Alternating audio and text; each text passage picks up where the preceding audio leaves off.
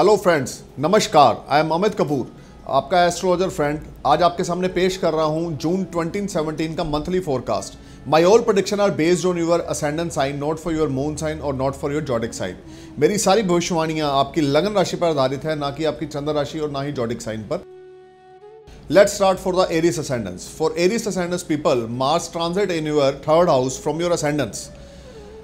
From the starting of the June till end of the June.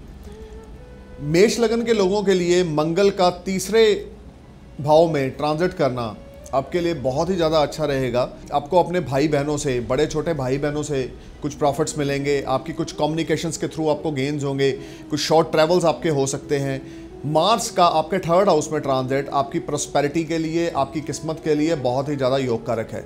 जून में मेष लगन के लोगों के लिए कुछ नई अपॉर्चुनिटीज़ आएँगी, कुछ नए सक्सेस के रास्ते मिलेंगे। जो लोग जॉब के लिए ट्राई कर रहे हैं, बीते काफ़ी समय से उनके लिए जून महीना बहुत ज़्यादा अच्छा रह सकता है। अगर आपने इंटरव्यू पे जाना है तो आपका क्लिक होगा। अगर आप बिज़नेस के लिए कोई कंसाइनमेंट के लिए एफर्ट्स कर रहे हो या कोई कॉन्ट्रैक्ट लेने के लिए एफर्ट्स कर रहे हो, वो भी आपका काम क्लिक होगा। एरिस असेंडेंस के लिए मार्च का ट्रांजिट होना थर्ड हाउस में आपको शॉर्ट जर्नी के थ्रू गेंस कराएगा। जो लोग बिज़नेस रिलेटेड ट्रैवल्स करते हैं, उनके लिए ये ट्रांजिट अनएक्सपेक्टेड गेंस वाला है। मार्स का ट्रांजिट थर्ड हाउस में आपकी किस्मत में चार चाँद लगाएगा और आपकी सक्सेस के सारे रास्ते खोलेगा।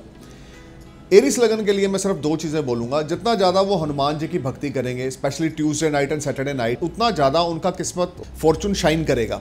मंगल से आधारित किया गया कोई भी उपाय, किया गया कोई भी पाठ पूजा, हनुमान जी से लिंक्ड किया हुआ कोई भी पाठ पूजा, आपकी लाइफ में एक चार चाँद लगाएगा।